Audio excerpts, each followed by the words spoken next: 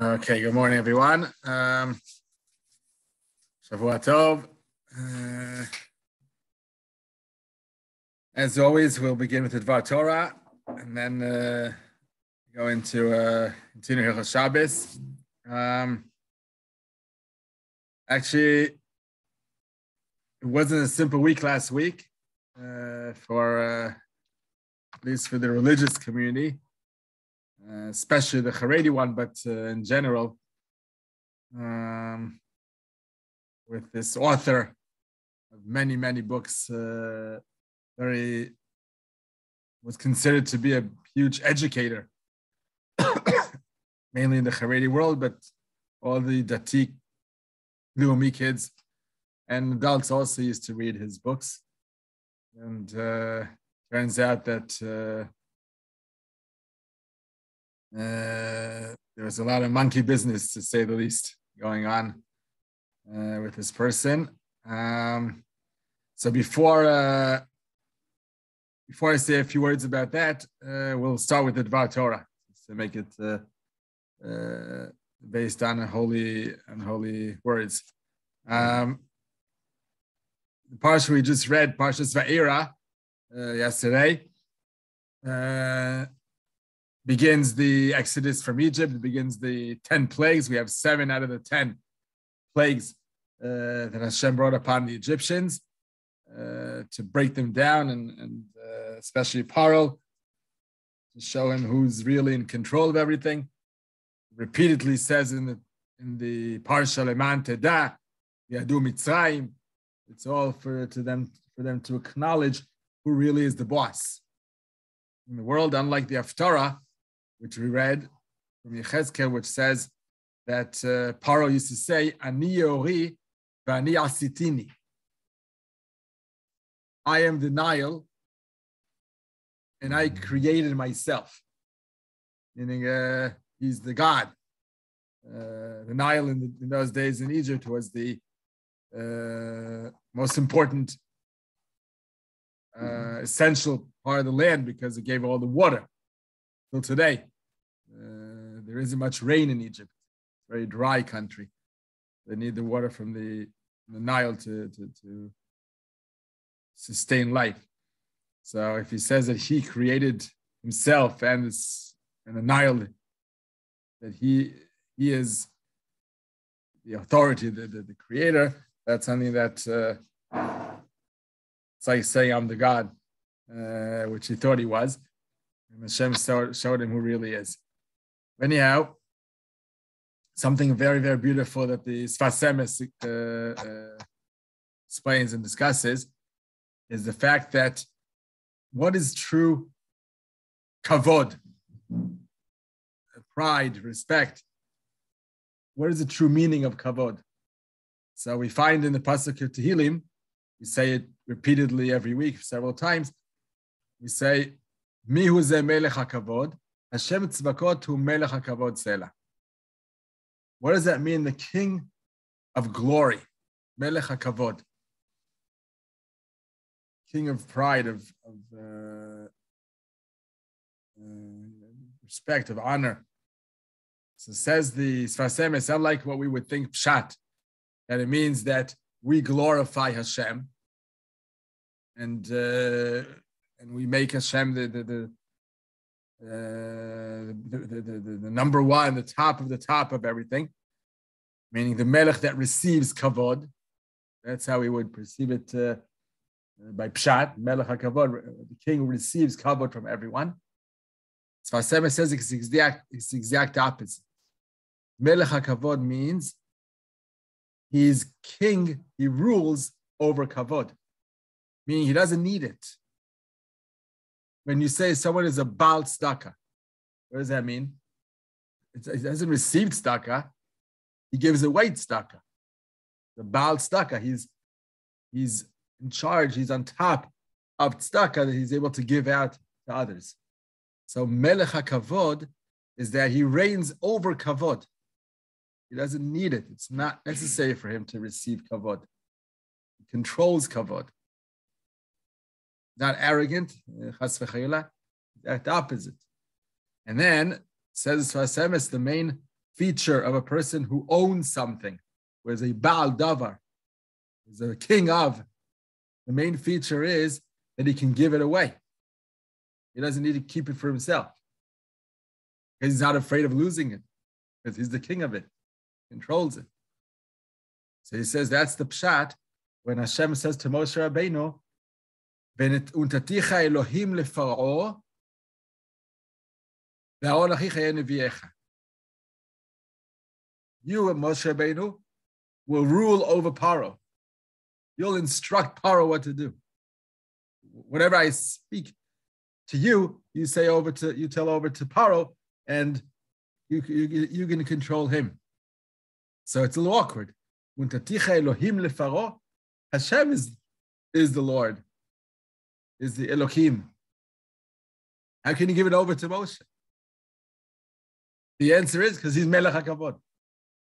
Because he's he controls kavod. He doesn't need it for himself. He can distribute it, give it out. Here, you take a piece, you take a piece because he's so sure of himself. He doesn't need the pride to come to him only. Um, sometimes, uh, so this I heard from Rav Lior Engelman, an example of people who aren't melech kavod, rather controlled by kavod. They look, they look for pride. So sometimes they say it would seem, again, chas v'charila, as if Hashem was acting the same way, but it's definitely not. Some people say to their friend, uh, you need a, your car fixed, I'll send you to a certain uh, car mechanic, a musachnik. Uh, tell him I sent you. Give you a good price. Now, sometimes that's something very innocent. Tell him I sent you is because he knows me. And uh, knowing that you're my friend, he'll treat you nicer than others. He'll give you a better price, he'll treat you nicer. It's many times, tell him I sent you means I'm, I'm the important guy here. Don't forget, I sent you. He knows me. You'll get bargains, meaning realize who I am. That's sometimes the idea of uh, tell him I sent you. Sometimes it's really innocent and really uh, uh, in a humble way, you say, you just want to help your friend. But sometimes, or many times, it comes from a place that you want him, your friend, to see how important you are. That if you say your name, if he says your name, wow, you're the friend of. Ooh, oh. Uh, so it gives you pride. So Hashem wasn't doing that with Moshe Rabbeinu. Tell Paro I sent you. That's not the meaning. That's not what Hashem needs. That Paro should say, wow, you're, you're a friend of, of a Kadosh Baruch Hu. So, and contrary, he didn't care about a Baruch So it's not the point there. It was giving over his kavod to other people because he doesn't need to hold it for himself. Hashem is melech kavod; he controls. From this, we can take a general a, a, general uh, uh, lesson, moral lesson that we must control ourselves. We must control our uh, features and needs to the point where we're not enslaved to external uh, issues.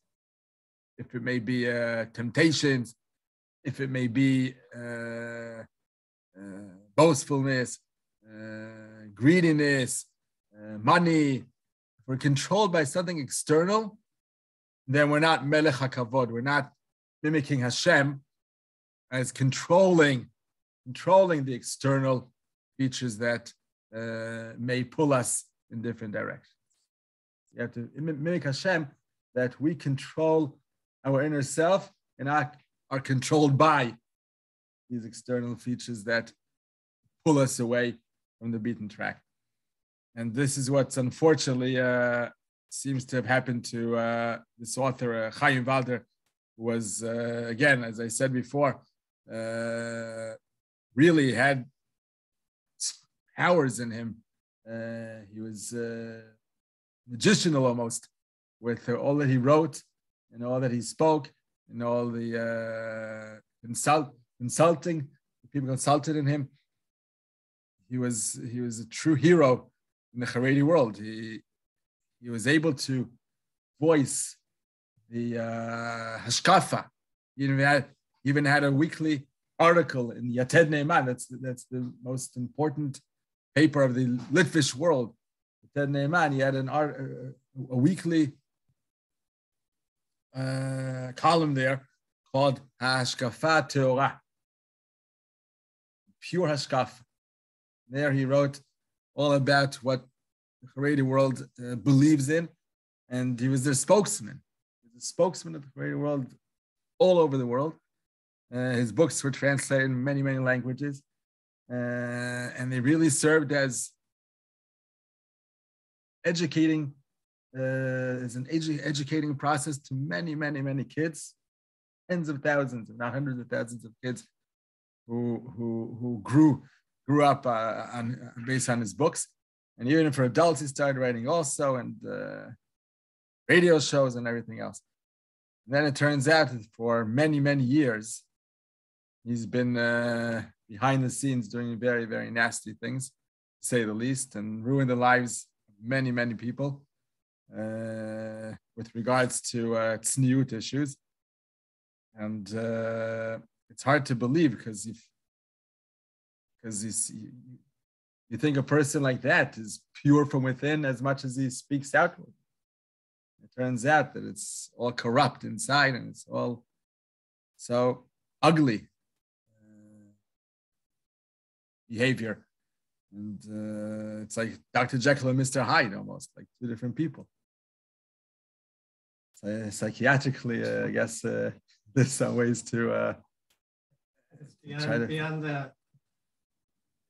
It's beyond psychi- psychiatric psychiatric yeah, issues. Good, good and evil is I don't know something overriding in the universe beyond just. Uh, uh-huh. It's not just a medical. It's not just a medical right, situation. Right. Uh-huh. Wow. Wow. Wow. More scary. You couldn't even. Not, not even medicine would help him uh, control himself someone can have impulses, fine. Yeah. But once you're harming other people, that, that's crossing a line. Uh-huh. You, know, you, you, have to be evil to hurt innocent people. Yeah. I, yeah. I don't know how to explain evil. Wow. wow. But he took the right medicine. Bullet. Well, in the end,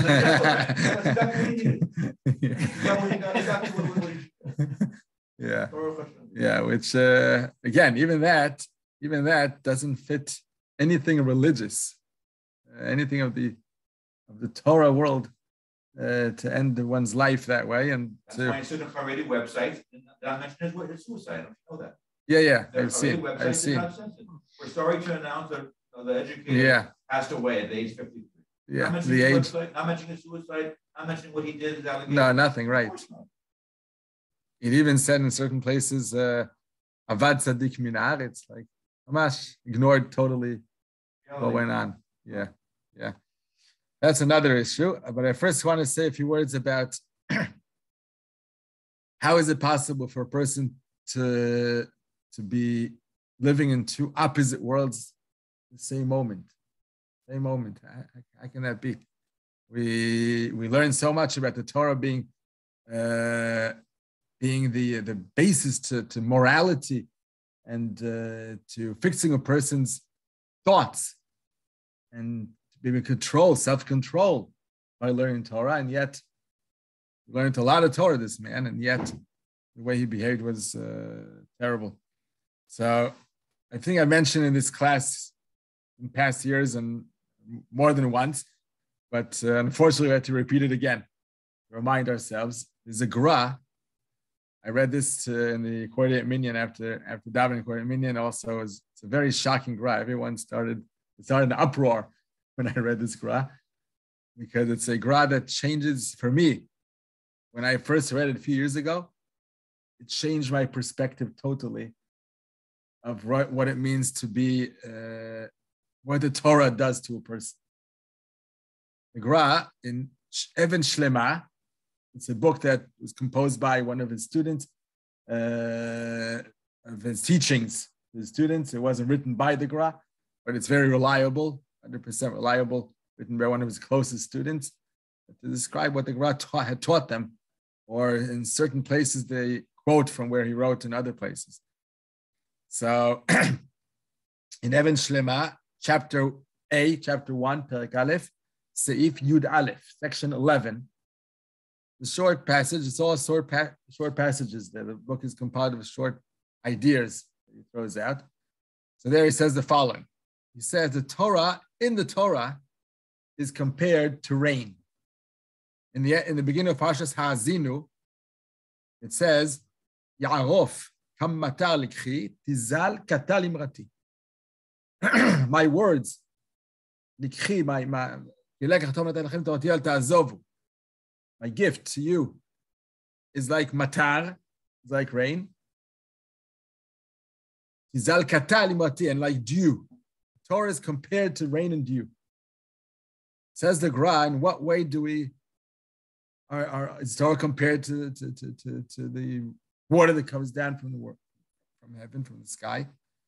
Says the Gra, same as by rain, whatever seed was planted in the ground, that's what the rain is going to grow. Uh, that's what's going to grow out by, by rain. Rain doesn't change the seed itself, the growth of what's going to grow. Weeds. weeds Exactly. And if it's thorns, then thorns will come out. And if the ground has flower seeds in it, so flowers will come out. It all depends what was planted in the ground beforehand. Says the Gra, it's exact same by Torah. It's very, very surprising to hear this. Says the Gra, on one hand, Torah can make a person tremendously good. But that's only if he himself, the person himself, has planted inside himself and has fixed himself in a way that he's in the right direction. If he's if he's able to control his Yetzirah, his evil Uh, uh, tendencies, and to and, and and and to structure his structures of is, is a good natured one. Then, if you learn Torah on top of that, you become tremendously good. Torah is like rain; it nurtures and and blows up all that's inside you. So, if you have good attributes, good positive attributes in you, then the Torah makes them even greater. And we hear all these stories of real Gedolim. And not only in the Torah were they so knowledgeable, but Ben Adam Lachavero, they were tremendous people. They were good people. They were tremendously positive, good people, good hearted, good deeds, uh, thoughtful, straight, honest. Those are the real Gedolim. Humble, because the because they were they first of all were able to control themselves and lead themselves into the right direction. And then on top of that, learned so much Torah that it made them humongously good. But on the other hand, says the Gra, on the other hand, if a person isn't able, isn't able to control his inside, and inside his bad features in him still rest, still uh, lie within him, and uh, he, he doesn't have he, he, he's not sure himself or he's even directed by them. And on top of that, he learns Torah. The more Torah he learns, the more evil he will be. Very surprising to hear this. It's a gra us. Aleph, Yud Aleph, and Even Shlema. The more Torah he learns, the greater evil person he'll be. And, and we hear such terrible stories like this one and like other quote unquote rabbis who did some terrible things that we, could, we can't believe a human being can do. So, so cruel. And even Goyim wouldn't do so. Goyim would, would control themselves from harming others to such an extent. I don't have to mention names, uh, but we know such stories, recent stories like that, including this last one. So that's what the Gemara is telling us. And he's based on a few Gemaras that say the this similar uh, the similar point. They say zacha naaset lo sam chayim, lo zacha naaset lo sam mavet. If you're worthy, Zacha, you're worthy. It doesn't mean you won the lottery. Zacha, I won the lottery. It turned out to be, it turned out to be good. No, it means zakah. If you purify yourself, you work on yourself to have good midos. And on top of that, you learn Torah. Now, set sam chaim. then, then that grows, makes the good in you grow and grow and grow. I would say the Torah is like energy. Torah gives a person energy. But in which direction? A person can have energy to do good and energy to do bad. Torah is energy. It's, it's, it's, a, it's, a, it's, a, it's an atomic bomb of energy. It has like so much uh, strength in it and, and, and it gives you so much strength. But the, You're saying that a person who has not controlled the details, right. he can sit down and learn. 10 hours a day.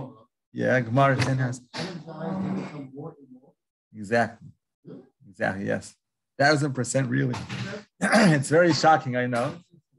I think that's the same theory behind um, like, the night of December 24th, Hasidim won't study Right. Torah. Right. And it's Leil the thing, Nitzel. because study Torah, you know, that somehow that night is sort of a bad, Impure night. impure Yeah. night. So you don't want to Strengthen that. strengthen the energy of the Uh-huh. impurity. Right. It's something of that of that time. And although you know the Litvaks make fun of the Chassidim. That's uh, I know, but, but it's, anytime they find a, an opportunity not to learn. Yeah, it's just a joke, Right, of course. Yeah, yeah. it's- No, I think truth that's of the the matter idea is, behind it's that's the idea.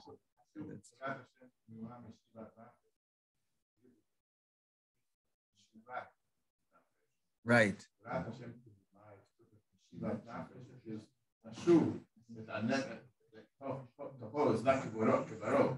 yeah.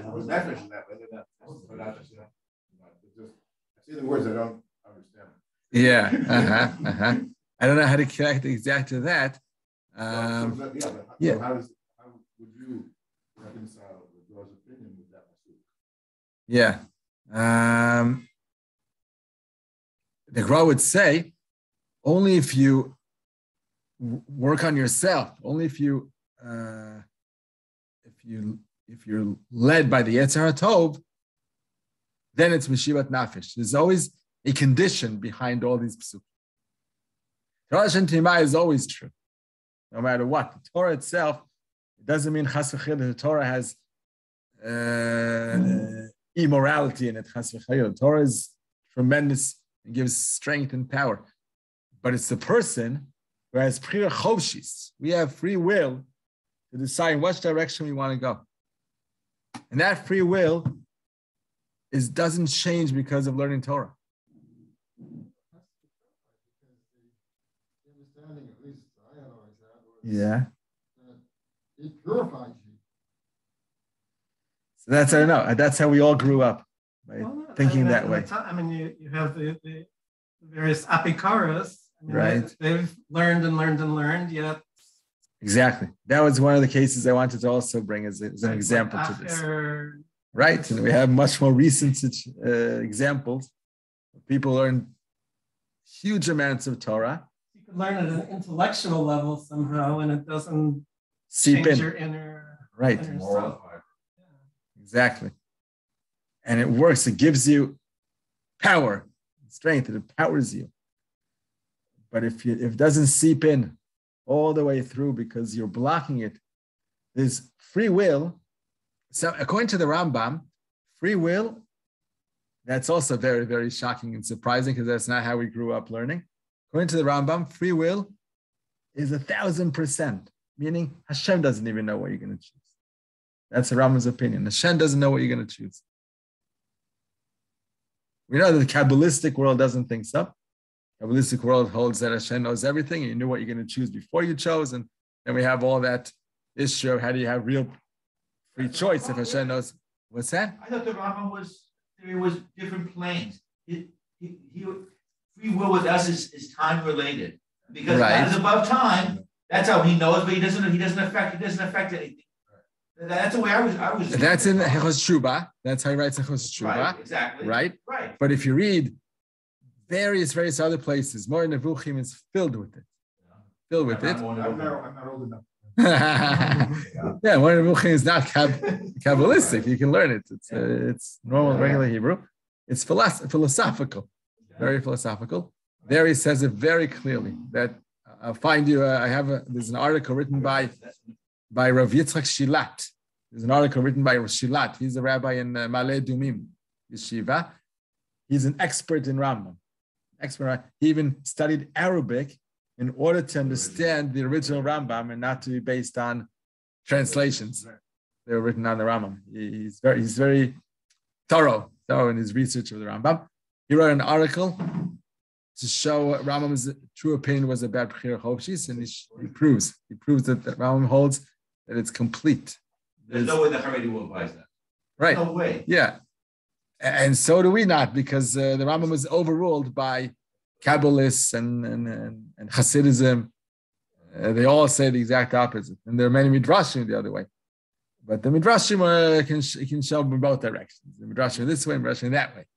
So you can't really be decisive by a Midrash. Rambam sort of emblematic of the Andalusian and Gaonic rational school. Right, right. Still around, but not many people. yeah, right. Exactly. He was based on that, the more rational, rational uh, system of, of learning Torah. Uh, so I'm saying that uh, self-discipline and, and, and free will, all that has to do with the person himself. Nothing can affect it. Unless, meaning, now the Torah can definitely serve as an educating book to learn how to be a good person. That's definitely true. You have Musar books, you have Midrashim, you have Emuna books, many, many, many, many books were written to, to, to direct us in the right direction. I'm not saying that you have to first do other things before you learn Torah. No, there are parts in Torah that teach you how to behave. The problem is that if you're not, like Ellen just said before, if you're not allowing the Torah, allowing the Torah to, to seep through and to be thoroughly connected to it and thoroughly be guided by it, so it's just superficial. It's just on top of your free will not to do, not to go by Torah, rather to be led by your Yetzer Hara. That's your will, that's your free will. And then Torah on top of that, as the Gra says, it's like rain falling on those corrupt, evil seeds that you're directed by Yetzer Hara. And then it just grows and grows and grows, and it becomes monstrous. Because of all that spiritual strength you have in you, uh, which is all on top of something very corrupt inside. That's what the Gemara teaches us. And this uh, helps us understand, at least, not that we want this to happen to anyone, but it helps us understand how could this be that some people are so corrupt yet so learned. This Gra helps us understand this, and which means that a person has to be aware. I think that's the main point that we have to take from all this. Awareness of who he is, and not to ignore himself and do things that are considered the right thing. Many people aren't aware of themselves, to say, to say the least. Or sometimes they're hiding something on purpose. But in the beginning, I think in the beginning, this person like this Chaim Walder wasn't a person who was born evil. He wasn't born evil. In the beginning, he must have ignored this Yetzer He didn't give it enough thought and awareness that it's in him. He ignored it and kept on doing the right things, putting on tefillin, davening, keeping Shabbos, most Haredi possible and best way possible. But he he he didn't give it. He didn't give him his himself his personality enough thought to correct what's going on in him. And that's how it grew and grew and grew until he didn't have control anymore. if you have the right motivation, then the Torah will. Exactly. Exactly. So you really If you're motivated by Yetzer Tov and you fight the Yetzer Hara, you're aware that there's a Yetzer Hara in you. then you'll have then the Torah will give you the strength. Then it's all give you the strength to fight viciously against the But against the these people actually, because they haven't struggled with it, right. kinda They let it go. Right. And it really empowers them. Exactly. It's unbelievable. Amazing. you say there are, who else do we know besides Acher and, and there's not a lot of people like Of deni- deniers, Kofrim? that. The people that like this who had that bad side and the Torah just took them and did terrible things. Unfortunately, Jewish history. unfortunately, there are many, many. history, All, they were all traders, they were all Meshumers. The people that got us, that, that got the Jews in the biggest trouble were, were ex-Jews that converted to um, Christianity, after their Catholicism. There's a whole big list. yeah, take A, Shabtai. a, a lot of, everyone that influenced the church to burn the Talmud, how Right. they able to do that? Because they were, because they studied the Talmud, I'm not saying they were good, they were dull in, they were Right. yeshiva bochurs that knew the Talmud well enough Right, and to they would point to point out- that was, that could have been interpreted in not in the nicest way to the Goyim. But It's, it's all Jews. What our history? Jews are our worst enemy. Yeah, take uh, Shabtai Tzvi. It's enough to take him. Shabtai Tzvi took with him hundreds of thousands of Jews to convert to Islam. He was considered tremendous tzaddik. He was doing sigufim and uh, learning uh, Torah day in, day out. And he was considered the Mashiach. He made himself the Mashiach. And hundreds of thousands of Jews believed in him. He took them all to Islam. And tens and tens of rabbis also, even more. A lot of rabbis. Who believed in him? Trust me. Wow. A lot of research like that.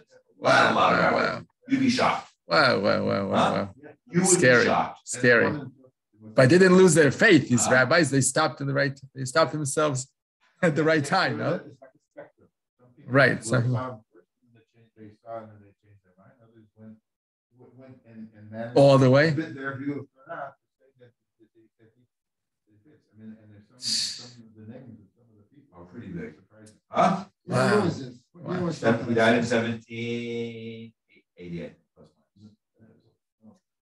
The whole battle of the Gra against Hasidism, which is a vicious battle, the Gra battled them very, very strongly was because of Shabtai Tzvi. He thought they were going in the same direction as Shabtai Tzvi.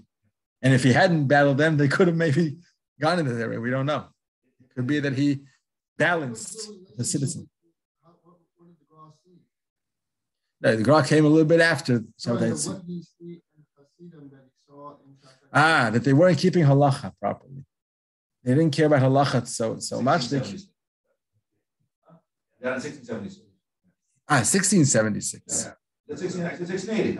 Ah, good, nice, very close. Okay. I think it's at 17, Oh, I did, I, oh. I- So you're I did, I- mistaken. I- I- 16, 80, Yeah. 76. Aha, okay. So, um, Yeah. In its earliest stages, from what little I know about Yeah. it, could have made a, made a left turn. right, right. They- but they managed- Because the Gra, by fighting, by battling them, he got them into he got them into position. Unbelievable.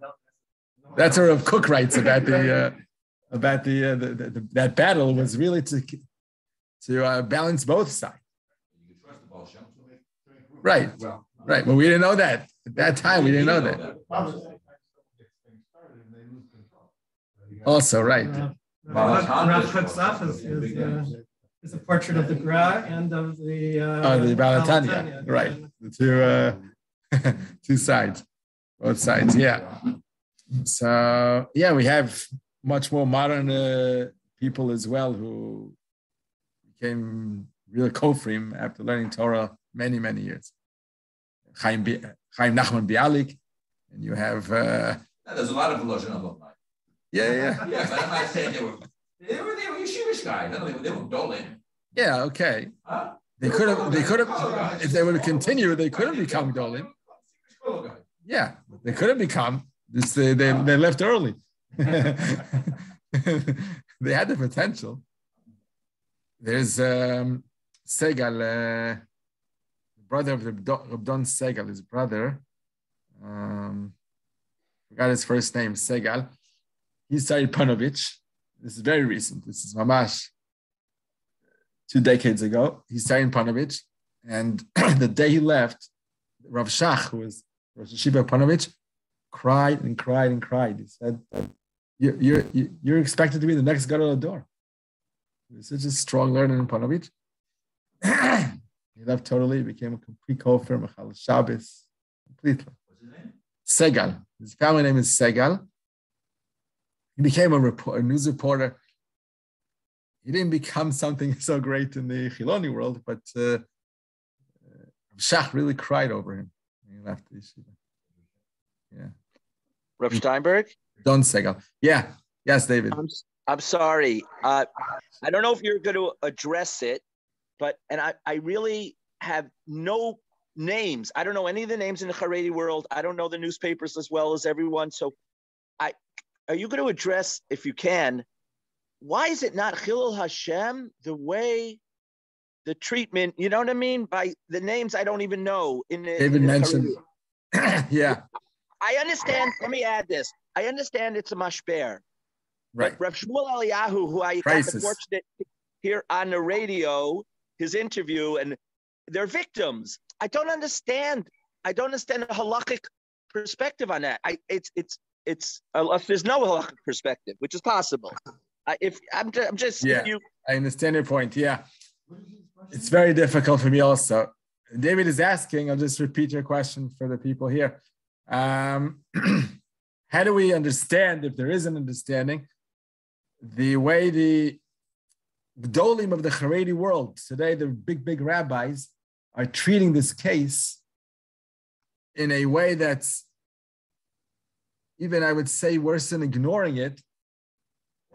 They're whitewashing. What, is, what do they say? They're saying that uh, it's lashon hara to speak about this person in public. Saying lashon hara, they're saying that uh, whoever whoever uh, publicized these stories was over on shfichus damim. They were shofech his his blood because they embarrassed him in public. You're not allowed to embarrass him in public. I even heard it's like with the lumdish finger. I even heard a big rabbi quoted from this quote from a big, big rabbi, which I'm a thousand, not a hundred percent, a thousand percent sure he never would have said such, such a thing because I have deep, deep respect to him. Rabbi Gershon Edelstein is the number one, together with Rabbi Chaim Kanievsky, he's the number one chief rabbi of the Haredi world. And uh, he was quoted as if saying, I'm sure it's wrong. I'm sure it's something from his uh, the small guys around him who, or at least presented it to him in a, in a way that made him say this. He said, a person who commits adultery, and that's part of the case, those are some of the cases that this person is uh, suspected of, of having done Chaim Walder.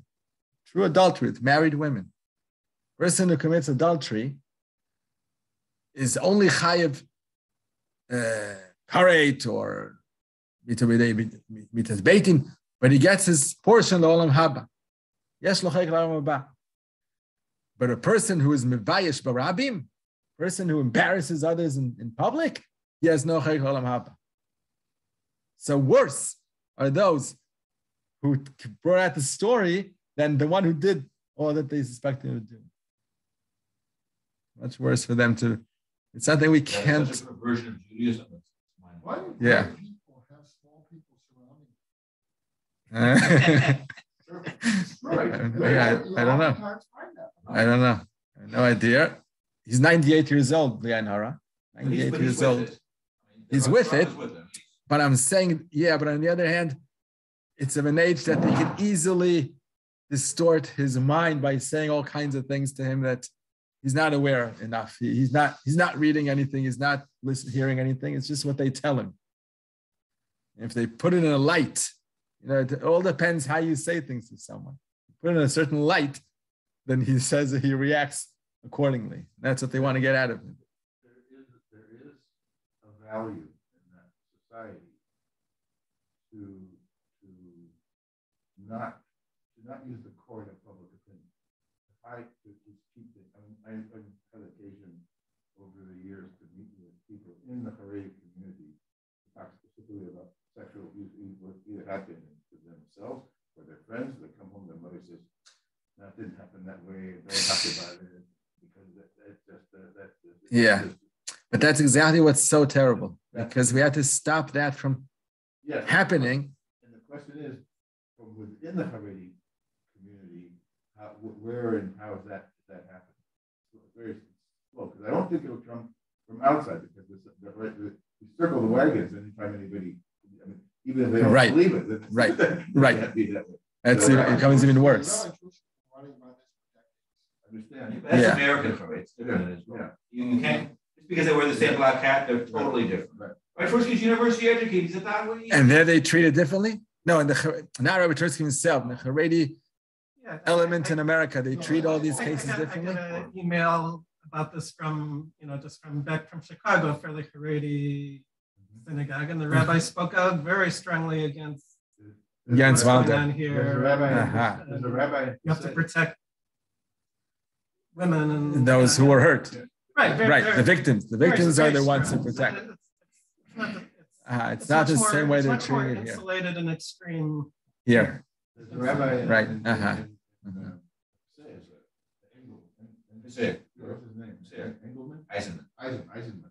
He wrote an article that he he was crying. Wow. Just wow, wow. of of how Rabbi. it pains him. I sent you the article. Oh, yeah? I didn't see it yet. I yet. just sent you in a half hour. Ah, okay. so I couldn't have seen it. Okay. Wow. Wow, I have to read that. only I said, I, I didn't send you, I wrote to the rabbi, giving him Yasher Koach, what a wonderful article he wrote. Wow. I wrote to, he didn't. I You know him told person, you know him personally? In No, the, but I- I in, in did Passaic? What's his name? I, I didn't, What's his first name? yes, sir. Which shul in Passaic? It's a, it's a The big- the big shtickle. one. Yeah, that's, it's all, The all, the way around the. Twenty-four, what's se- his name? Minin Factory, Minin It's like ten, Factory. fifteen words. Wow, wow, wow, wow, wow, It's a wow, wow. Truth is, it pains me that, Uh, it pains me that there's so many Jews there in America still, well, that they have so many minyanim going on. He's a good, good guy. this Oh, yeah? Wow, wow. He, he, he, Anyhow, he, his article, he, he goes crazy. He said, "How dare!" He takes the victim side. Of course, He's, of he's really course. He's not really Haredi. He looks Haredi, uh-huh. but he, has why you sneak on. He learned 30 years ago with with Rav Rav Lichtenstein. ah, aha. But if you see him, you think he's real. Aha. Big, big beard, black hat, black kippah. Yeah, But, wow. He just, you know, He just understands, I- I- uh, I know what- where the truth we are lies. as public persona, but I read his trial.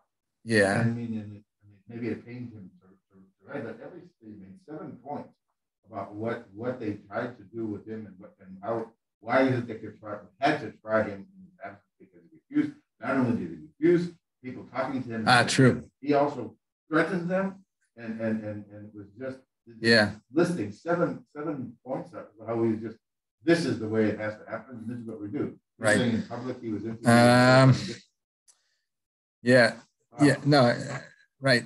Yeah, now from Eliyahu is one of the most hated people now in the Haredi world because he, he he publicized all the, this whole story, and how dare he, and from the from the Dati Leumi world, keep Kippah Sruga rabbi, how dare he do this? Badge of honor.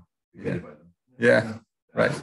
exactly, But you can see- He Exactly. Put on his, his right. It required, it required a heroic act. Definitely, definitely, definitely. He's he's the real hero of this whole story, and not only this story. Unfortunately, he's the person that these victims turn to now. He's become the voice, the voice of the victims to stop all these cruel people from doing what they're doing. You have Ezra Scheinberg and all these other real Rishonim that you can't. It's it's just it, it's sickening, sickening what they what, what they can do. You know this is just the beginning of the iceberg, tip of the iceberg. You know this is six and three Yeah, I, actually, I hope it will, but I'm not sure because they'll, gets they'll, they'll start the will be. right, and they'll start and they'll try to cover up. But this is a real shocker because this is a person who, as I said, was a spokesman of the Haredi world. He, he was the person that they relied on to, to, to, to, explain to the world how holy and pure Judaism, Haredi Judaism is. Yeah. Yeah, yeah, yeah. The shelter, right? Shelter also. It's the hypocrisy. Anyway, um, so just to David's question after all this, David Barth question. Um, This I heard from Rav Lior Engelman also on Friday, and I think he pinpointed the the uh, how how how come this is the way they relate to, to, to all that happened. Besides the fact that it's a tremendous shock and and there could be an aftershock that they'll fix what they've said uh, immediately after it happened, but uh, just to see the hesped, to hear the hespedim that were done over this person, hespedim that big Gdolim gave, is something that's unheard of. Just the fact that he committed suicide should have, you know, there's barely there's barely a, re- a reason to bury him within the fence. Barely a reason. Where did they bury him? Normally, no, wait, wait, Really? normally, totally What's not normal, allowed to totally normally. No, so that they've said already uh, for decades already that uh, we bury even those who commit suicide within the fence Oh, because yeah, they've changed halacha from the days of Chazal. You allowed to bury them because we say that a person who gets to that state is probably anus.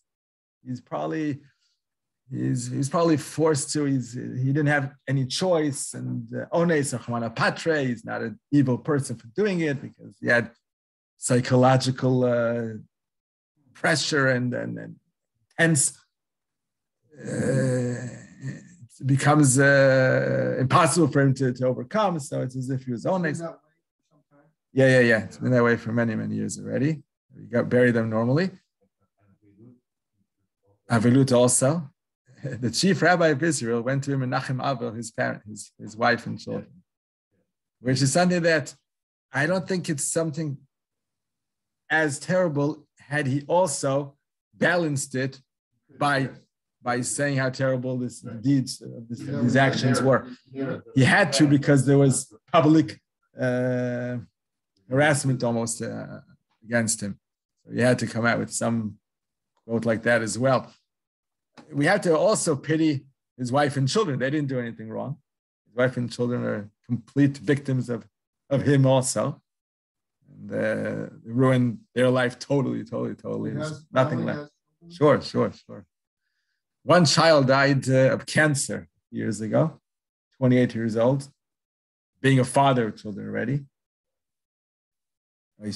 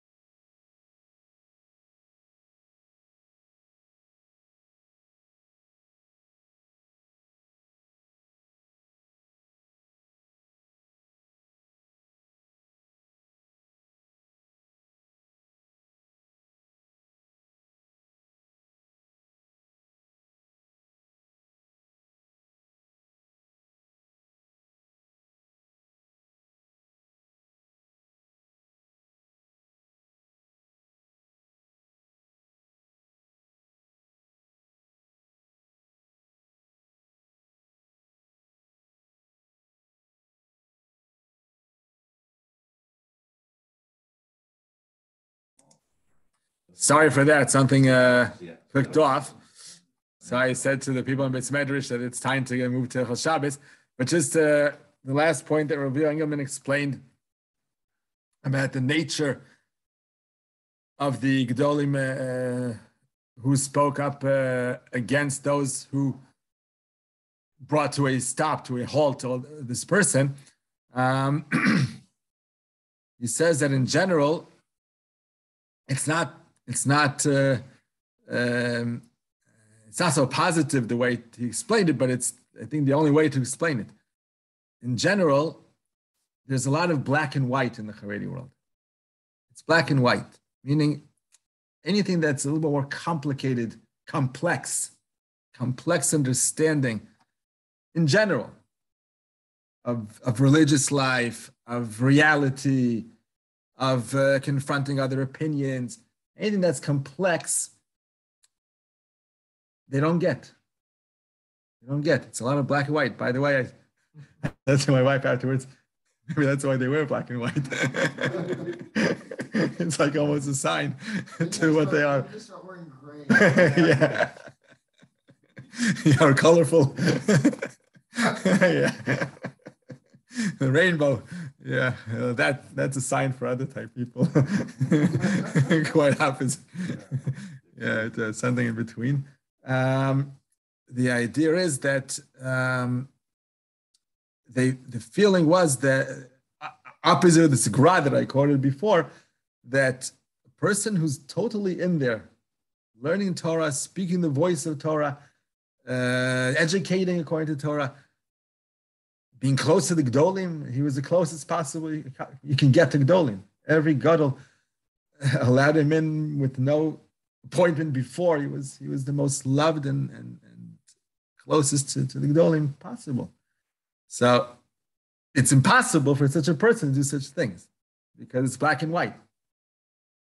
Either you're pure and holy as you appear to be, or you're chiloni, you're, you're, you're you're, you're, you're, from the bad guys, you're not Haredi. And here they find something that's complex. They find within them a person who is completely distorted.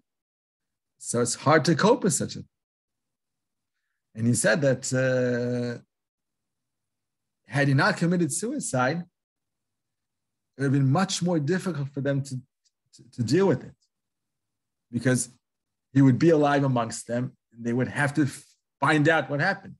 Now that he committed suicide, it stopped the whole discussion. So now they can hide back, hide behind the black and white again. Offering what notion to you? right. Now they can say, no, he was harassed and, and, and, and humiliated in public. And when it's tzaddik that, uh, look what they did to him, they can jump, turn him into a victim. turn him into a victim, and then they can hide again behind this this black and white I- uh, understanding. Yeah. the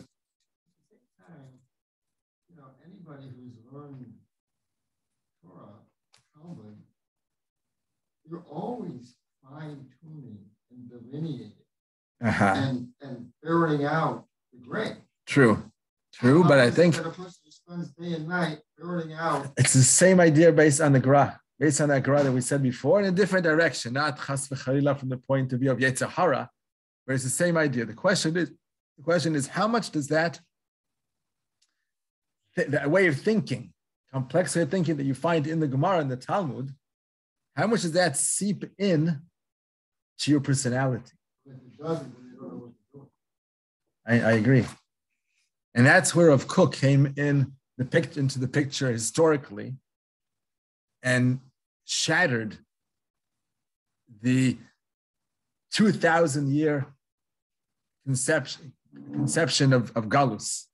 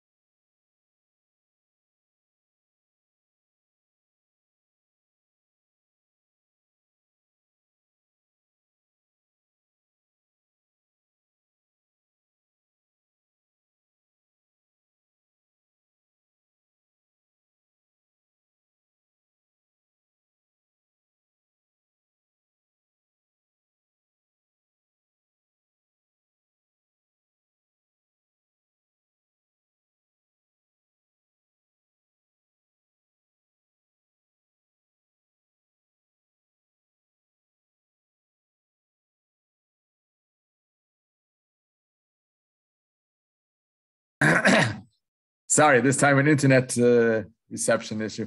Anyway, This- Herzl, Herzl, he said, Chotim al digleinu, as if we inscri- we're inscribing on our Zionist flag, Einanu chelek be'elokei Yisrael. The same language that the Greeks forced the Jews to leave their belief in Hashem. Herzl said that. He knew nothing about Yiddishkeit. Right, He knew my mamish nothing. nothing. Yeah. His children, Yeah. Yeah. were Bunch of married women. Christians. Yeah. They, they baptized the Christians. So he was very, very far. His gan, his his uh, the one underneath him, right underneath the vice, Right-hand man. his right hand man was Max Nor- Nordau, and Max Nordau, what? Nordau is one block away from him, That's a name. I named that to him. Right. obviously. Oh, boy. Oh, boy. There's a lot of So Nordau naturally, you want streets in Israel. in Israel. I don't know. You want to live on that street He was a, he was a because he married. It could be he was a physician. I read a very interesting story about him. But, Yeah, he married a Goya himself. He married a Goya. He never converted her. Married a Goya, and when um, Herzl died, died young. Herzl died at the age of forty-four. So, yeah, he was very accomplished for forty-four. Um, he, they, they offered Max Nordau to become the head of the Zionist movement after Herzl. He was his vice. So he says, "No, this I can't take upon myself. I have Chazir in my house." That's what he said. So yeah, so Tzvi Yehuda Kook said that that was Hirurei Tshuva. He had like a Hirurei Tshuva. Yeah, he began he began the process of Tshuva. He never followed up, but he, he understood that he can't be the role model. Ad Kach, married to a Goya, the moral model of, of, of the Jewish Zionist movement. Anyhow, so His father was a rabbi. oh yeah, wow, Orthodox. that's that's complex. Yeah, when that that's real complexity. The story I heard, he was a doctor and he was treating, you know, just very much part of society, nothing to do with Judaism at all. Yeah, And he treated a um, Haredi, a, religi- religious family. I can't remember the, the details of that, but yeah, he was so moved by how their they nature. handled the illness. and- Right, right. The, the patient and their Uh-huh, faith and all uh-huh, that. Yeah. But that turned him toward Back his towards- religion, and that, that at least turned him toward Zionism. Like he was Ah, completely towards divorced Zionism. from the community, and Ah, after that, So it became more Jewish, connect, connected right, right, to, he Ju- to Jews, but not right, so- Judaism. Right, so Uh-huh. that, that led to his Zionism. He wrote At age 15, he left, he left Torah. 15? once wrote that Uh-huh. at age 15. And as a doctor, yeah, he was away from it as a doctor, and he you reconnected by he these reconnected Haredi family. Zionism, he reconnected. Wow, wow, wow, interesting. Anyhow, so I'm saying Rav Kook was the first great rabbi.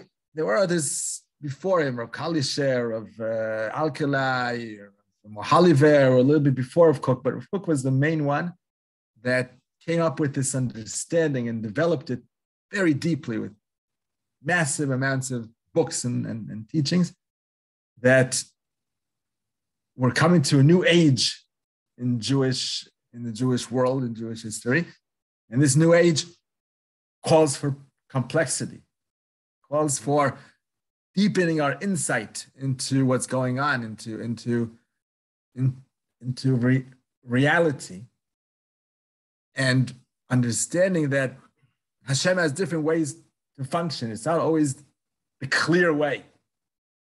And it's based on tons of midrashim, tons of chazal, but even those who learn them in and out sometimes are blinded by life, by da- daily daily life. And his partner would be Benjamin Chaim Ziel also. Yes, he's a big rabbi as well. He was the chief rabbi, not not together with him. It was Rav Yaakov Meir, was the chief rabbi with him. Rav Meir. So was Chaim was partnering with uh, Rav Herzog, Herzl, or the next generation. But Rav Kook was really Rav Kook came out with the with very deep insights. If you learn his his books, you see how how his th- thinking was so deep, and he understood that Hashem functions in different ways that we don't necessarily understand or agree with, as if. But we can't disagree with Hashem. This is the way Hashem decided. This, this is how the Geulah will unravel, dafka by using Chiloni people. So even though they were anti-religious and they fought religion and then and, and they said we don't want anything to do with the past, the, the, the old Jews, Yeshuva Yashan, primitive, unrelated to modern life, and yet to say these are Hashem's messengers to bring the Geulah. To be able to say that is some tremendous insight that Rav Kook had to be able to connect with them to say that, okay, they're wrong about the perspective about Torah and mitzvahs, but they're very, very right about their anxiousness and eagerness to uh, build a Jewish state. And let's connect with them on that point, from that point of view, and help them build the state. It's like the same thing with this fellow. I mean, from what little I read about him, he had, you know, to produce a whole series of books and Right. change the way the Haredi world looks at itself. He obviously was a bit of a thought. Sure. You know, he had Uh, sensitivity, he had an awareness, he had a, a way of Sure. approaching people are complex. Like you're saying, you know, it's uh, Yeah, yeah, yeah, yeah. But uh, yeah, he was definitely complex. His personality was very complicated, very disordered. But uh, I'm saying the view that the Haredi world takes on many things. i'm just giving an example. The example is Rav Kook with his insight of modernity and what's going on today. But in general, this idea of combining Torah and Mada. You don't find that in, in the Haredi world here in Israel. You find it in the Haredi world in America. I think there they do have it go for a degree, some of them. Right, right. Ramada. He, by the way, he was anti-Zionist. That's another issue. But uh, yeah, Rav Hirsch was very anti-Zionist. But you take her of Cook again. He speaks of he speaks of everything, of, of, this inclusive Torah, inclusive Torah that includes everything. Sees eye to eye the way Hashem functions in this world in various different ways, and to be able to combine everything. It's, it's, it's a huge Torah, and all the Haredi world have to say about Rav Kook is to put him on cherem. He's on cherem. You can't. They don't allow. they don't allow learning one word of Rav Kook. That's how they. That's how they. That's how the, the social That's how the structure system works, 'cause- depends. You know, then you don't need to confront. You don't need to. You don't need to to to Because to, to threat- because of the rela- fear, because of the fear Exactly. someone thinks another way, exactly. V'chaya, that can be the right way. Other affluence of science. Yeah, but again, I would I would understand if they would learn Rav Kook and battle him and fight back and show why they think differently. But just to ban him, that, that's an, e- an easy way out. That's again black and white, right or wrong. But where's the complexity? Where's the where are you where are you uh, struggling and and, and, and show? In the Haredi world, the, the, the move for the, the soldiers, for the, those who become soldiers. Yeah. those Also terrible. Yeshiva Bakrim to go to school and get degrees for Parnassa, Yeah, that they, little by little, they're making headway. The biggest problem is gonna be if the, if the, if the news catches it, uh-huh. spotlight it, because you know darn well, everybody's gonna go to Right. their own corner and come out fighting. right. But Right. there's a movement in the Haredi world Yeah, to somehow keep Haredus. Yeah. And, and yet we- serve in the army, go to the university, and all that. But it's very, very on the. It's now on the side now. Trying to find the way. Yeah, right. But it's very much on the side now. Right now, it's, it's for those who haven't made it in the yeshiva Yeah. or something. And uh, also the way they're disrespected. Yes, They come home. It's terrible. want to say paid for his house and everything, then he started, he won't- he's going to find out, so They cut him off altogether. They call, they call those people who go nachshonim. no, even worse. Hardakim, they call it They're Hardakim. waiting to see are they going to drown or are they? Uh-huh. Yeah, that's a compliment to be Nachshon. Yeah. But uh, I think they they have other other terms that they uh, humiliate them. Anyway, it's I'm sorry to say this this is the, an explanation that can be given, although it's a very very sad one, very sad explanation, and uh, I hope, I really hope that this incident will shatter and, and, and awaken that society, that environment there to, to, to, to think what's going on, uh, where have they gone wrong, and uh, who knows? Hopefully, it'll open them up to many other things, but at least in this area, not to always hide these things. And the main thing that drives all the, uh, the, the way they relate to all these cases is shidduchim. That's the main thing that bothers me, because if something comes out, this and this person, this and that, then all his kids, zero way to, to marry anyone, no way to have, to have shidduchim. So they have to hide everything in order for no one to know, and then they can marry whoever they'd like. That's, I think, the main drive that they have in many such cases, which is totally distorted, of course. So, uh, after all that being said, I, I still like to repeat over and over again, and I truly believe in this, that there's a lot of good. There's a lot of good in the Haredi world. There's a lot to learn from them. There's a lot of Torah that they teach, true, Torah. True Torah. And I always point out, all the books around me back, behind, on all my sides, 95% of them written by Haredi rabbis. The, the Torah, the, the humongous flourishing of Torah, and the way we have uh, the Shas, uh, just the Shas of Metivta or Schottenstein, have, have are revolu- revolutionary, have, have created revolution in Torah, in Torah studies, and it's only due to them. There's no way the Tilumi world, and definitely not the Chiloni world, could have taken upon, upon ourselves these uh, tremendous, tremendous uh, missions and, uh, and uh, projects like that. And that's one example. There's so many others. Uh, the greatest poskim of our generation and previous generations are Haredi people. Not saying they're of that type. They could be a little more fine tuned and more complex thinking uh, and more inclusive than what we described before, but still they are for, of the Haredi world. So after all, there's a lot to take from them, and we need them we need their Torah. We need their hours and hours and hours of learning, daily learning that they spend. Uh, we, had it not been for them, historically, I'm not sure in the 50s, 60s, I'm not sure if anyone today would have been religious. No one. Because the Chiloni movement was so powerful, so overpowering here in Israel, at least, that the Datilumi world would have not sustained had it not been for the Haredi world in the 50s, 60s. The, the Tilumi, the Mizrahi, in those days they were called the Mizrahi Jews, they were ashamed, they were embarrassed to be religious. They were embarrassed with their kippah. They didn't wear a kippah. Only the Haredi world stuck up and continued Torah and continued tradition. And then we came uh, after them with the strength we have today with the Yeshivot Hesder and Bot that we have uh, in the, the world as well. So after all that was said, there's a lot to learn from and a lot to uh, be thankful for what they've done and continue to do.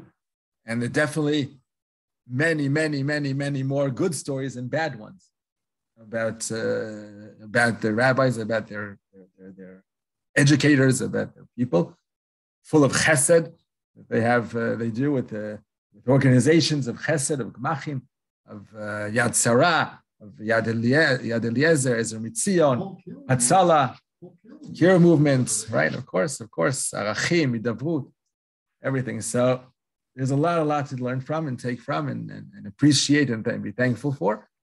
But there's room to fix uh, quite major issues, major Right, right, exactly. This uh, there's an expression in Hebrew. Uh, we caught them naked, so to speaking. Uh, in this case, uh, very. Uh, no, no yeah. yeah, right. Not so interesting expression in English, but in Hebrew, right, red-handed. Cut, cut with their pants down. Ah, cut with their pants down. Uh-huh. Okay. Similar yeah, connotation. Um, yeah, so we need the, that's always what we're saying. We need the combination of all parts of society of the Jewish world. We need the combination of everyone together to make a wholesome, true Jewish nation, Jewish life, national life. We need the combination of all parts, including the most left Chiloni. We need them as well. The moment you ban someone, the moment you throw them outside the fence, so A, you're damaging them much, much more because they hate Judaism much, much more. And B, you're losing something important in the Jewish world that only they can supply. Even if we don't know exactly what, because they're so anti, nothing sounds sounds true with, with, with, their. The four sons? I mean, isn't that the four sons? The idea Where in the uh, Leila Seder and the Agada? Yeah, true. know, those short- And they're all sitting on the table around the table, right? Right, the twelve tribes. Even Shimon wasn't uh, banned from the twelve tribes, and he was Shimon was, let's say, the worst of the tribes because he was never blessed, not by Yaakov and not by Moshe. He never got a blessing. Still, they were they remained part of the se- twelve tribes. They needed to be scattered. uh, "Achalkem b'Yaakov, afitzem b'Yisrael." There's- It is not, yeah, they're, they're, they're needed, they're necessary, but just not together. Don't stay together. That's, we can't take that. Be scattered. You're, Not to dwell on it, the, the Chilonim in the times of Rav Kook and in the 40s and 60s yeah, were Chilonim, but they loved the Jewish people and they loved Eretz Yisrael. okay. So very different to the Tsareno Hara, today's ultra extreme leftists. So That's why to say, I really don't want to go into it. Right, this is a whole- right. saying, Rabbi, it's different. The leftists and the extreme left and the extreme Chilonim that Rav Kook did at the beginning of the Hanukkah So we just need to It's much, much different than today's True. self-hating extreme left. Those True. self-hating Jews. They True, those- but those- they were Zionists. that's why we need- Moser Nefesh to the Jewish people. They were totally different. Today's Drek is Drek. Yeah, Sorry, but again, I tell you? That's why we It need, we- but yeah, we, that's why we need another great, great person like Prasad Rav Kook to come again in this generation and explain to us and explain to us how come even that is part of the it's part of, of, of the group.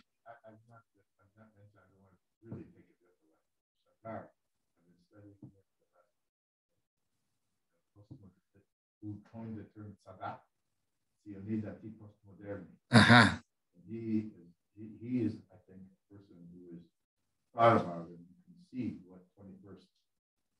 Judaism can, should look like. Uh-huh.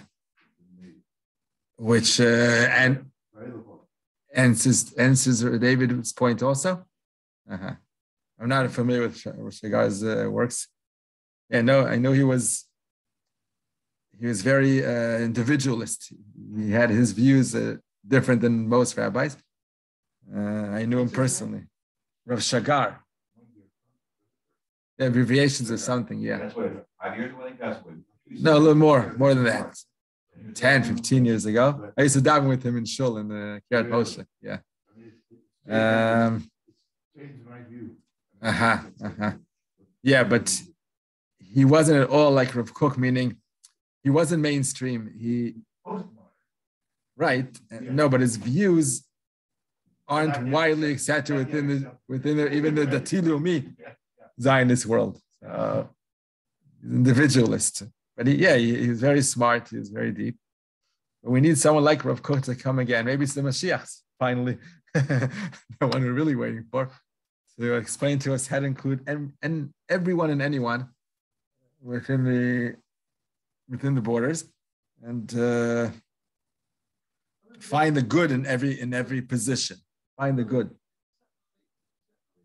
other words, why, why can't you say there are some Jews that are so far off?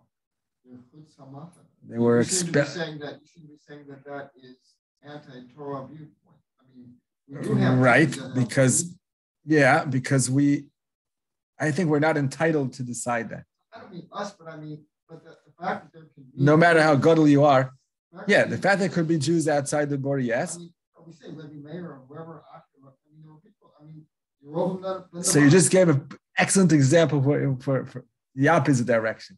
Because Acher, Rabbi Elisha ben Avuya, was a kofir in the worst sense possible. He knew the entire Torah Kula. He was a Tana. He's quoted in Pirkei Avos.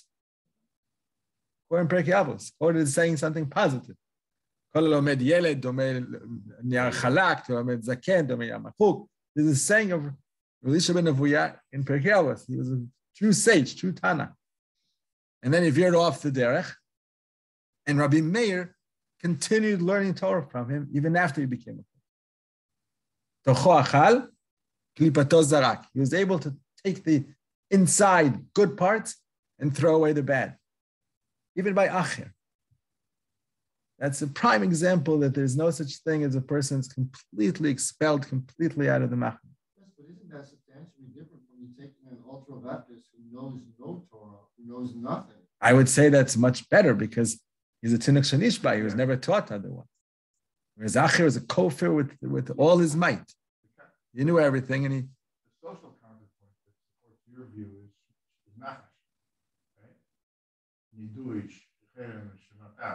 There, was, there were people for whom society, the rabbis in society said, you, you, you're, you're, you're, you're putting your badge on the table, and we're, we're taking your badge away. And, and, and that, I don't, I've been thinking a lot about, about that as a social instrument and tool.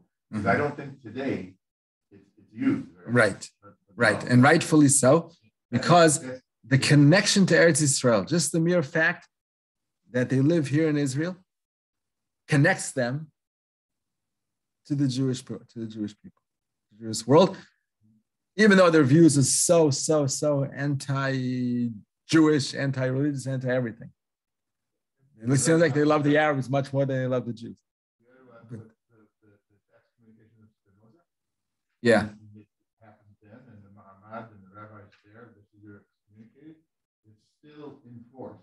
They, they've tried, they took, they've taken it up over the last decade or two, whether it's a, maybe the man, maybe it works to do it, and they said, no, it's keeping it. And there Right. a man, a religious man, wanted to write a documentary about, about, you know, went ask the Amsterdam community and look at their records. He says, no, the Cherem is still in force. right. and you are persona non grata. But they Then they changed And the then, law. and then the, then the rabbi Well, said. there's a that public backlash. changed. Yeah, so, so that, that, and, and so that made me think about how that, the whole dynamic, it depends on the social infrastructure of people Uh-huh. buying into that. Right, but it's Right. A tool that we almost, that we don't see happening. right. Because he, Spinoza and others like like him, were in Galus. And the moment they disconnected from Judaism in Galus, is nothing to connect them, and there's no connecting point anymore. So they're completely uh, spelled and, America. yeah, yeah. Those could be worse, much worse than those here in Israel. That's true. That's true. To work very, very hard to include them. We'll see uh, in what way they're included. But I'm saying I think the our view, and this will end uh, this discussion. I think our view should be as much good as we can find in every single human being, and definitely in groups, general groups of, within the Jewish nation, to find what what they're trying to. It's not that they necessarily have the right viewpoint, but by having their viewpoint, they're pointing out to something we're missing. That's the idea. We have to figure out what are we missing that they need to say and do what they're doing. And we find if we find that, then they'll not be, it won't be necessary for them to view the world that way. That, that's the point we have to exactly. That's the point. And then they'll just disappear, they'll vanish without needing to Because they would have served their purpose. exactly. So, just Going back to the, gross. Yeah. If, if there is a bad seed. Right. There is Torah Right. and that takes you off, then, Very what- bad. then what? What's, what, what, according to him, what's the story with that person? He's a complete rasha. He's a rasha. He's a person that's could- They even could still do chuvas. yeah, of course, of course. Anyone can do tshuva, but it's it becomes very, very difficult. That, that, that person also has something there that we get, have to listen to and figure out and talk. Yeah, now you're talking about someone individual. That's someone individual. I'm, I'm talking about more about viewpoints uh, and and camps and and, and, and sections in, Jew, in, in Jewish nation. As an individual, yeah, you always had to try to pull him back, but sometimes you say uh, you're an evil man and you have to get punished. And, uh, you're, you're put in jail. Put in jail, and uh, sometimes he has to rot in jail. Sometimes he can come out if he changes his ways. Okay, let's just do a drop. A leftover time for uh, Shabbos. It's a very shattering, uh, very shattering week last week. Uh, interesting how, how this will develop. Okay, so we're up to the chapter that's called Shaonei Shabbat, uh, the use of timers on Shabbat, uh, which is uh, very common, very common on uh, everyone's Shabbos today that we use timers for lights, for air conditioning, for plata, uh, heating system, all that. So what can be done and not on Shabbat? First of all, the general concept of, of a timer is based on Beit Hillel's position, unlike Beit Shammai. Beit Hillel hold ein shvitat kelim b'Shabbat, meaning one must, doesn't need to refrain from a melacha done by their utensils, by the kelim. If automatically a malacha is done by via person's utensils, he doesn't have to stop it from happening. The example in the days of Beit Shai Beit Hillel, which of course had nothing to do with electricity, but the example was a grinding. Yeah, what was that? What did you say? The beans pressing the olives. Also, also true that too. And the grinding, they had these uh, millstones. They ground, they, they used to grind the wheat with, so they had water. In some in some situations, they had streams of wa- a water stream that, with its force, with its power, used to turn them, the the mill around, and then it ground, ground the wheat. So you don't have to interfere with that before Shabbos. You can let the water com- continue flowing, and the uh, and those millstones continue turning around and grinding your wheat. Know, it would be happening on Shabbat. So Beit Shammai did not allow that because Shvitat Kelim, according to Beit Shammai, is their right. Same as we have Shvitat Behemto. We mustn't allow our animals to be involved in any malach on Shabbos. That's explicit in the Torah. Your ox and donkey must rest as well. So no malacha can be done, including carrying. Let's say a person has owns a horse or a donkey, and uh, they have something on their back before Shabbat, and then the horse and donkey will be in a place without an eruv. You must take it off their back because they're doing a malacha on Shabbos, same as a human being cannot carry. Their animal can't carry either if it's owned owned by you. So that's Shvita Behemto. Everyone holds that because that's in the Torah. Very straight, distinct in Torah, explicit that it's not allowed. But Shvitat Kelim is something more implicit. They, they, they, they derived it from certain psukim of the Torah, and Beit Hillel argued against it. The only thing that, according to Beit Hillel, still remains problematic on Shabbat regarding your kelim is the sound it makes. If it makes a sound that everyone hears it working, functioning on Shabbat, even Beit Hillel hold rabbinically forbidden. It's rabbinically forbidden. Rabbanan.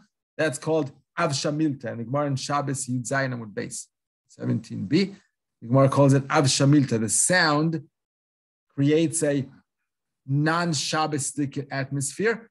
And worse than that, people may think that you turned it on on Shabbat. You started, you started going on Shabbat. So you must refrain from anything that makes sound. And nowadays, the idea of a timer is based on the non-shvisas kelim opinion of Beit Hillel, we don't need to refrain from our vessels, from our utensils doing any malacha. So the light can come on suddenly, or the air conditioning come on suddenly, or turn off suddenly. Even though that's a malacha. The, the uh, bulb is now involved by getting turned on. There was a malacha done on, on this bulb. But since there's no issue of Shvita Kelim on Shabbos, so we don't, we don't care that it happened. As long as your action was before Shabbos, you turned on the timer, clicked on the the pegs, you uh, set up, set the pegs and flicked on the, the timer before Shabbat. So you've done the malacha itself before Shabbat, and then it goes automatically on Shabbat. That's fine. Oh, now the question is about noisy uh, electrical appliances like a dishwasher. So the post poskim really generally ask people to refrain from using such uh, machines that make sounds. Not only sounds, it's also anything that's not generally accepted as uh, use to be used on Shabbat with a timer.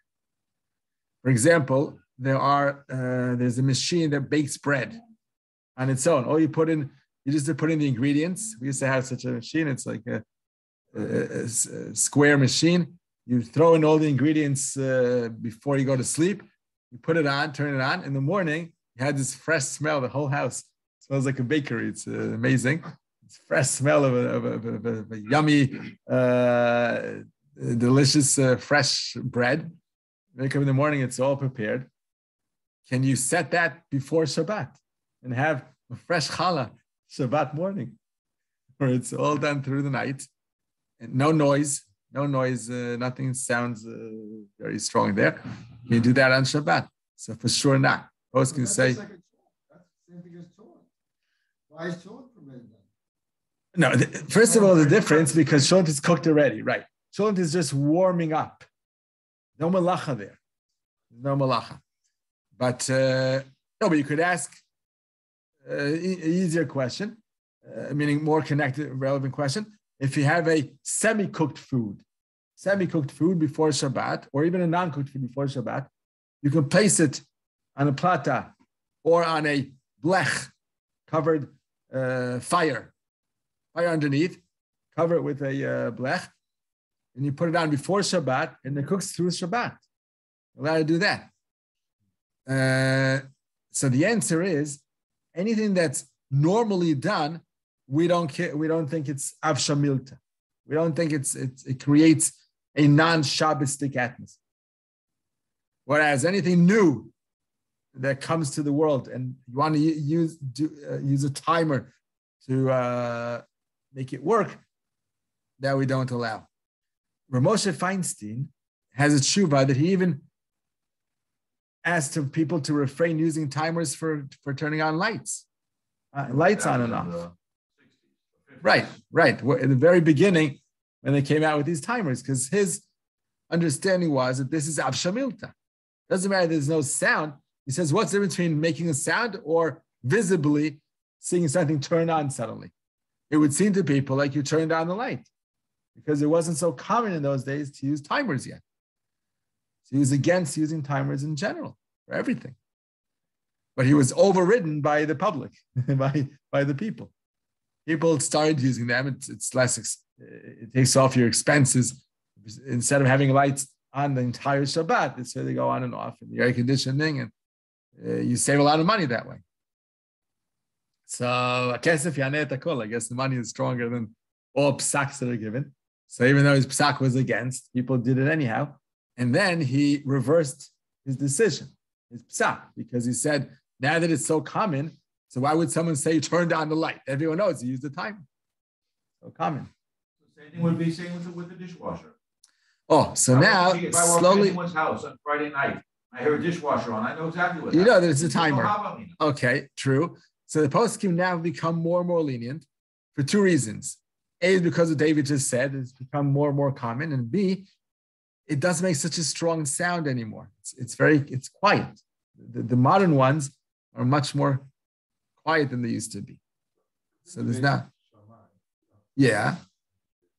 No, no. So yes, I'm saying there's not much of Avshamilta anymore. This one point uh, to say, the poskim still prefer. It's not that it's, it's it's not a must, but they prefer that you have the dishwasher working middle of the night, like two in the morning, three in the morning.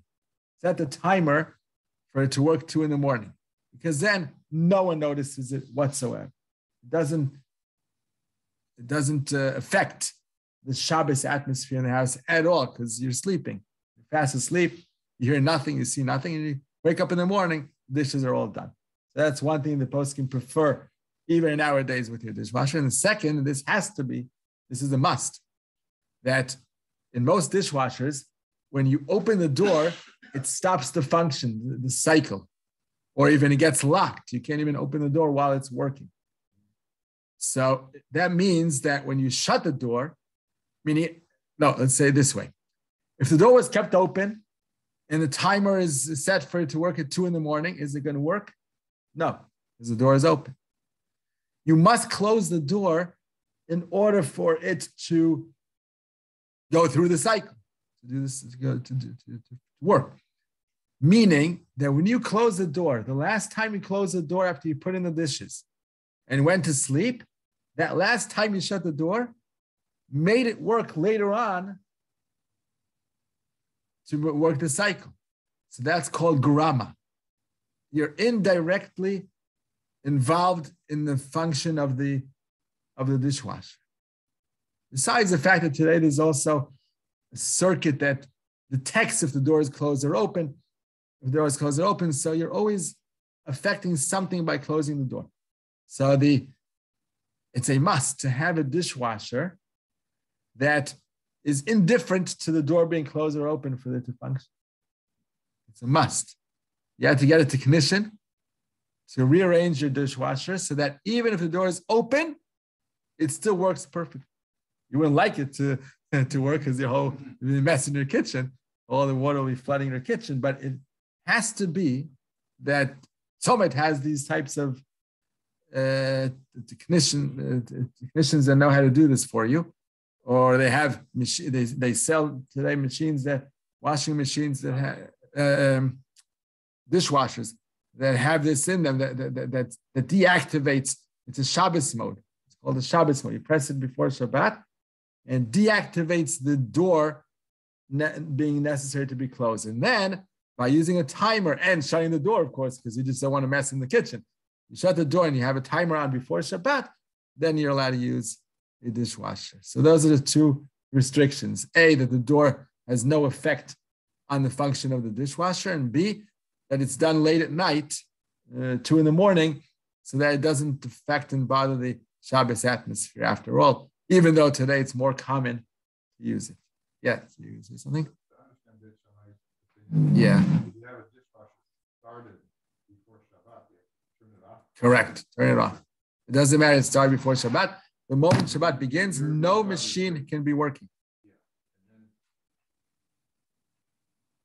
So, so, uh, first of all, just to let that happen, you have to not go by Beit Shammai, go by Beit Of course, of course. We don't pass like Beit Shammai, of And course. then the, the, the Hillel, it's the initiation of the, of the act of your tailing that is, that is problematic and needs to be dealt with. Yeah, meaning if it's a continuous action from before, then it's okay.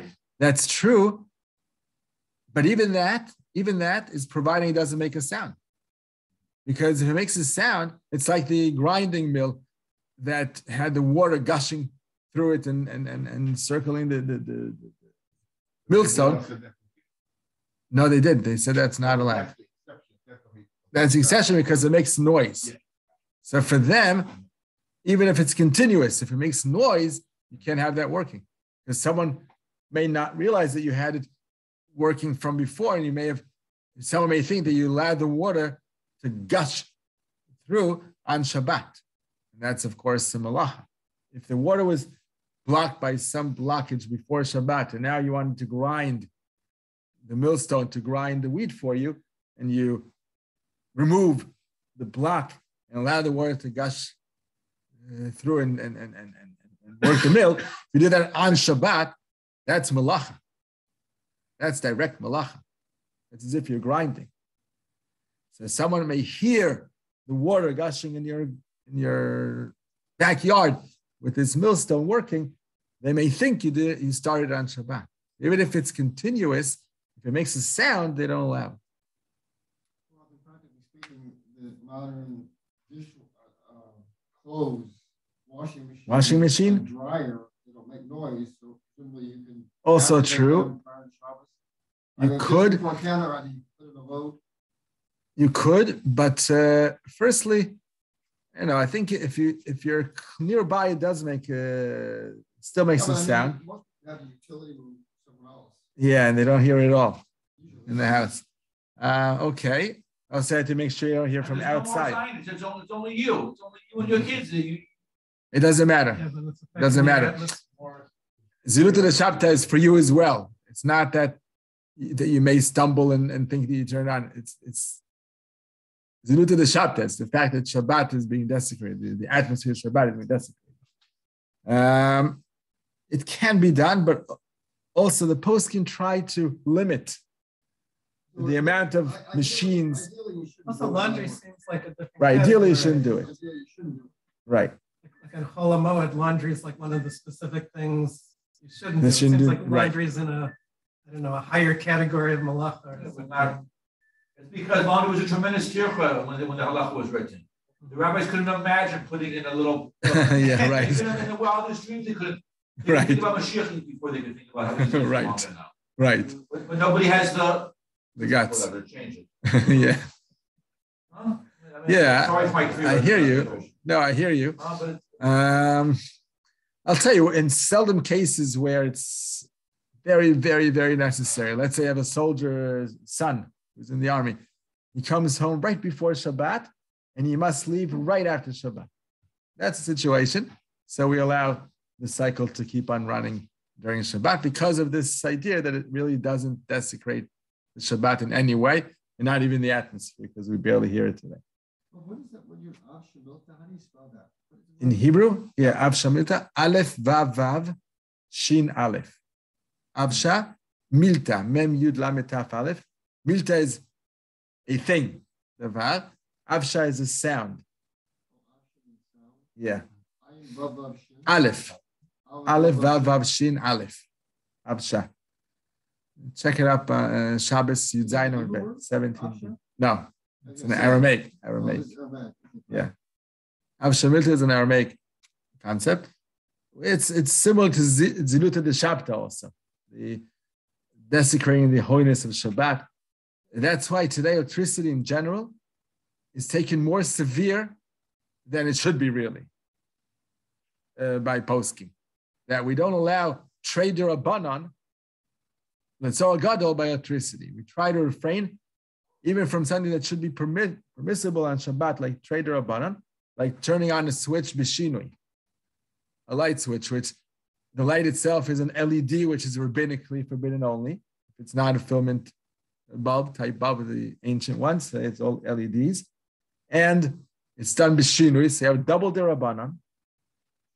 The tzorach mitzvah, let's say, if you have a blackout and uh, shortage and, and, you want to turn on the uh, fuse?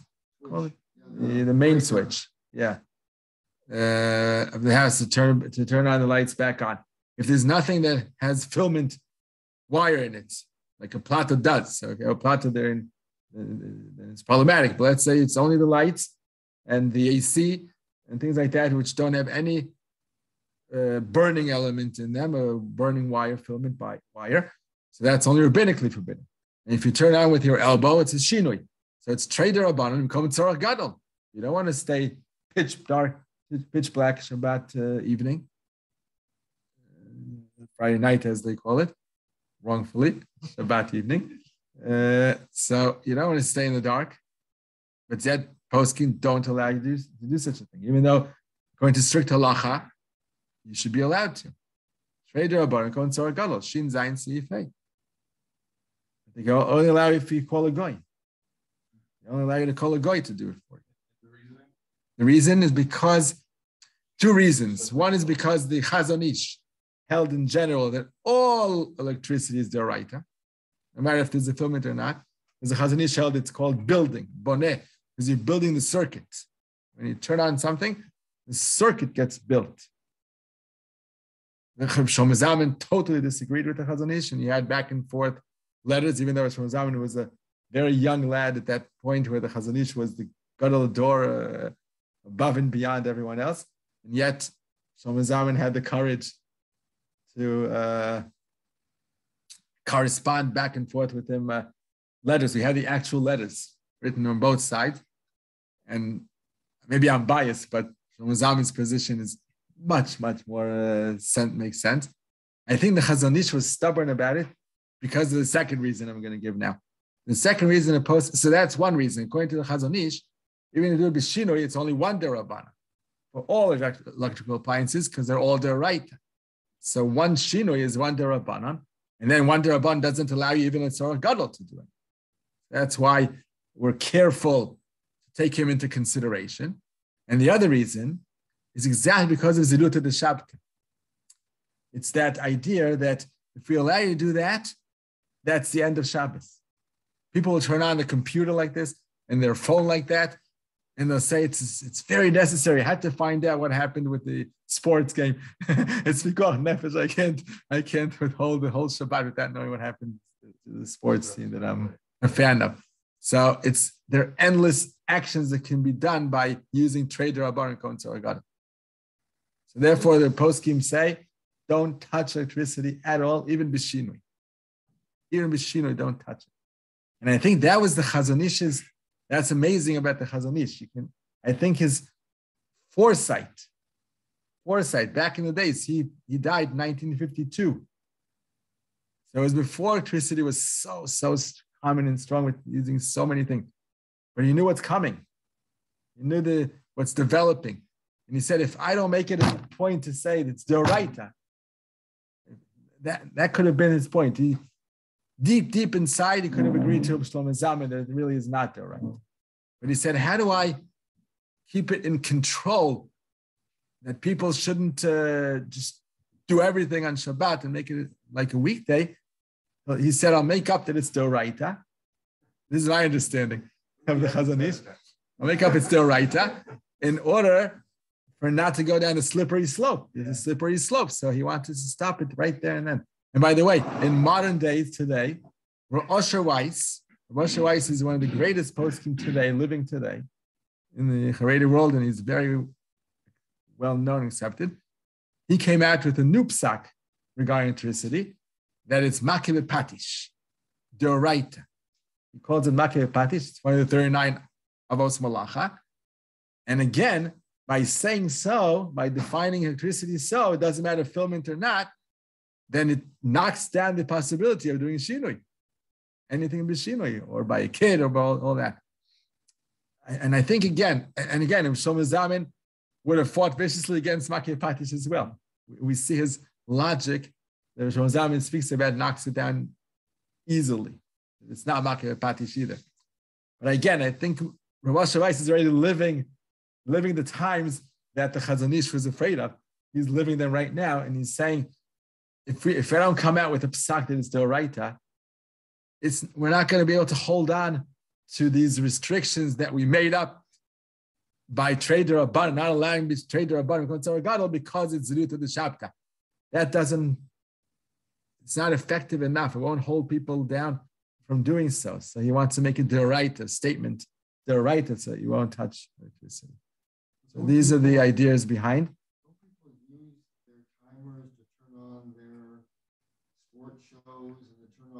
No way. No way. If they do that, it's a terrible zero to the chapter. It's exactly, you're right. Halachically, strictly halachically speaking, you can turn on your TVs uh, by using a timer and your computer and everything. Watch whatever you'd like. But that's such a crazy to the Shabta. That's what I said before. Even the timers, the poskim restrict to only those instances and, and, and, and machines and electricity that's very necessary for Shabbat and very common to use. That's why it's very difficult to poskim to let the dishwashers in by timer. Even that was very difficult for them to let that in. Slowly they're letting in, letting in one by one. The very like for example, we have those blinds trisim, they go up and down automatically. People put them on timers. I've seen one in a very religious home where suddenly the tree shit goes down. and if you're on the wrong side, you're locked in. you can't get out. So no, there's a door always, but uh, so so this I, have heard recently from Rabbi Malka that this is this was also accepted. This is also let in, let in to use by a time by, by timers because it's so common now and uh, necessary for houses to function. So they let that in as well. But they barely let in machines, new machines into this leniency of using a timer, uh, even though according to halacha, there's no issue whatsoever. It's not even leniency, it's, it's totally kosher, it's modern kosher. But the ziluta, the shabta, that we're afraid of.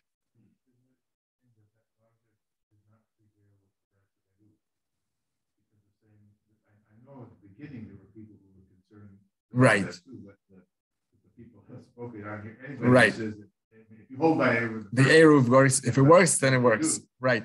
That too was a tremendous struggle. Tremendous struggle in Manhattan and other places where many, many, I think today, religious Jews don't count, don't rely on the Eruv in Manhattan because of the halachic considerations there that make it problematic. I remember in Baltimore area when it first got started, there were people saying, no, no, don't do that because the people kids will play ball in the street and, and then. and Right. That didn't hold water. Right, because it all depends on how strong the people are versus the rabbis. And uh, yeah, I guess it, it- didn't turn into something so terrible. Uh, Absolutely, the Shabta by using an Eruv. It, it, helped much more than it, than it worsened the situation. It helped the situation much more. Families could be Families can be together. together with the with the whack with the uh, kids. Uh, Agalot, right, and all that. Okay, so we'll stop at this. Went way over time. Have a great week, Shavua Tov, and hopefully a better week than last week. Zat Hashem. Okay, kol tuv Chodesh Tov and Barach, right. Uh, Tonight is Rosh Chodesh Shvat. Shenishma B'Sarot Tovot. Abbreviations of Shvat. Shenishma B'Sarot Tovot. Abbreviations of Shvat. Okay, kol tuv. Bye-bye. Amen. Okay, kol tuv. Bye. Shekoyach, Shavua Tov. Okay, to you. Shavua Tov.